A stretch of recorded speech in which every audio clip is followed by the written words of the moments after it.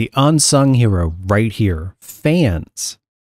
Yes, they give you RGB, they light your case, they make things look pretty, but they move air. They move air so that the components inside your system are cool and therefore can give you the best performance.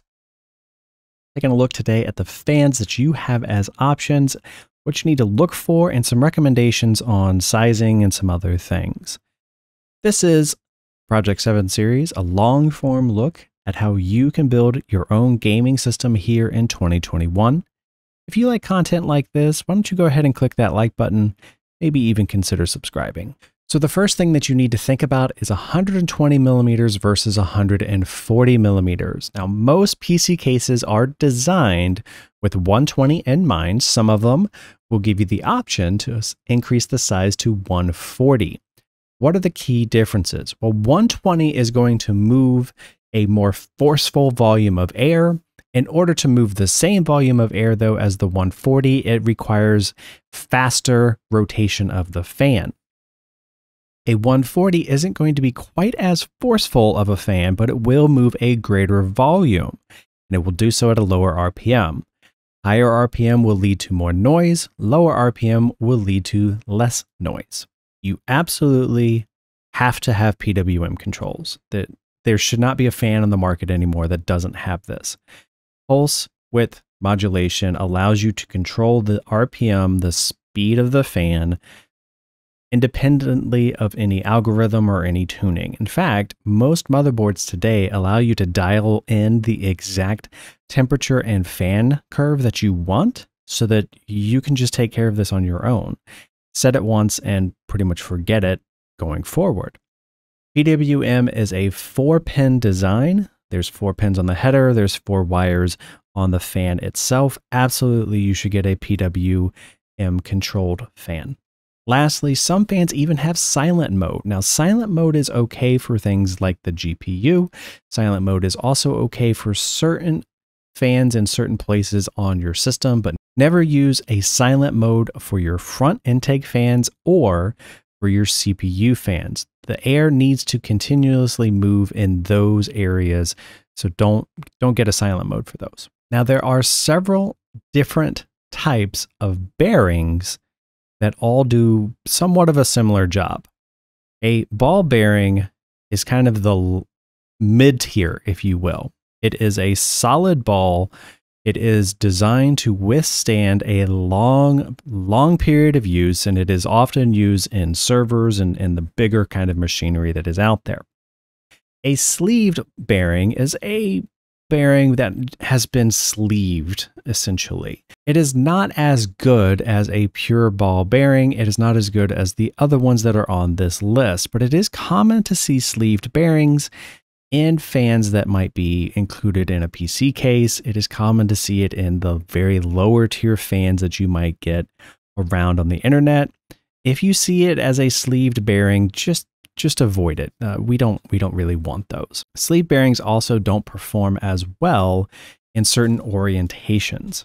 They have a tendency to wear down a little bit faster if you have it horizontal versus if you have it vertical. And if you think of how PC cases are built, a lot of them have horizontal on the top, potentially even on the bottom.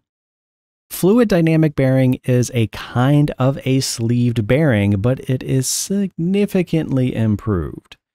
Fluid dynamic bearings can be found all over the place. Most, if not all, of your higher end fans are going to be using that exact type. Lastly, you have maglev. This stands for magnetic levitation. These are the most expensive fans on the market because they use magnets to raise the fan off of the motor and allow it to spin independently. The two items don't ever touch. So therefore, you never, never are going to have any friction, noise, and these are probably going to last you significantly longer than any of the fan ever in your life. But at the same time, they come at a very high price and not too many choices out there, especially the kind that have RGB. Kind of disappointed in that part.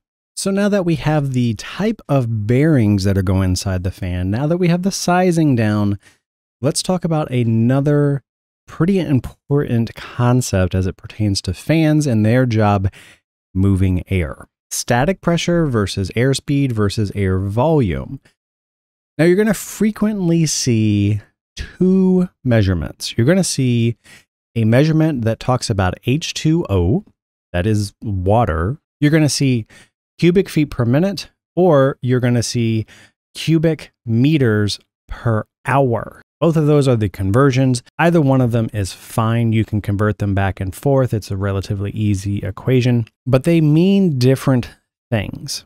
So the static pressure measurement is how forceful the air is. And this is very important if you are using radiators or if you are, have a crowded case, like a small form factor, ultra small form factor, that kind of a case. The volume of air, the cubic, is how much air will move through the fan into your chassis in either minutes or in hours, depending on which notation you use. Air volume is important because we want to make sure that we are maintaining an internal pressure so that there's more fresh air coming in than there is air going out. And therefore, the air that is going out is going to not just go through the exhaust fan, it's going to go through the cracks and the crevices. That's how you can keep your case cleaner. The clean air is going to go from the intake through a mesh filter and then into your case and then exhaust out in any direction that it possibly can. That's why the volume of air is important. Now, air speed is another indicator, and that is simply how much air is moving in a given period of time over a general kind of an area. Air speed is more or less not as important as static pressure or air volume. That's where we're going to focus, and that's what we're going to pay the most attention to. You can do some back of the napkin calculations with an airspeed indicator to figure out some of those other numbers, but ultimately, we're kind of stuck relying on the manufacturers and their best guess and their best marketing sniff tests in order to understand these values. Everybody does it slightly different. There's different calculations, there's different testing methodologies. Just know that these are rough ballpark figures. You'll never know exactly what these numbers are going to mean for your fans in your case. Here are my recommendations for fans. And you can see right here, these are those two numbers I was just talking about. So this is air volume and this is the static pressure. The first number up here obviously is price. We have the sound. Now, the way that a sound measurement works, it's not linear, meaning it basically follows a standard curve, like a straight line. It's log logarithmic. Wow, that's hard to say. Which means for each unit up, you are effectively nearly doubling. I think it's every two decibels is double the volume of the previous one. So if you go from 28 to 30, that is twice as loud. Essentially, the 30 is over the 28. And then down at the bottom, you can see the kinds of bearings. Now, two of the three of these are labeled as fluid dynamic bearings. That means you're going to have high pressure fluid that is being driven around the bearing, and that's going to give you very good, longer lasting overall performance. And then the Noctura uses their own methodology, which is another high pressure variant. But their special term for it is self stabilizing oil pressure, which is just a refined version of a sleeve bearing, just like the fluid dynamic bearings are. The Lian Li has a very nice RGB element. It is front and back. You get a good side element. I love the way it looks in my Lian Li O11 Dynamic. It is pricier. Lian Li also has a daisy chain capability where you are able to link these fans together in order to run them off of the same power header, the same fan header, the same RGB headers. The controller unit also allows you to have four independent zones. So if you aren't daisy chaining them, instead you're using the cables, you can have four zones as well. So I really like the Lian Li from an overall standpoint. By the way, I forgot to mention these are 140 millimeter fans. You can get these in their 120 variety. I do recommend the 140s kind of overall. Even for radiators, you can see these numbers are very high still in terms of their force. They're able to push a good amount of water, which is exactly what you need also for radiators. The Noctura is the most common, the most popular fan type that is out there. You can see this is the black Chroma Max version. You do have a variety of colors that you can change. These soft rubberized vibration dampeners. $25 per fan, very, very low decibel rating. It is a very quiet fan. It moves a heck of a lot of volume and it doesn't give up the power either. So very good fan if you are looking for case fans. Be Quiet, I really like these Silent Wings too. I used these on my Dark Rock Pro 4. I felt they performed very, very well. Not as much volume as the Noctura, but it does have more power being able to push at the expense of more noise. One last item that I want to point out here. When it comes to cases, you're going to probably be in a situation where a manufacturer wants to provide you with their fans as part of the case. Always look and see if those case fans actually are worth it.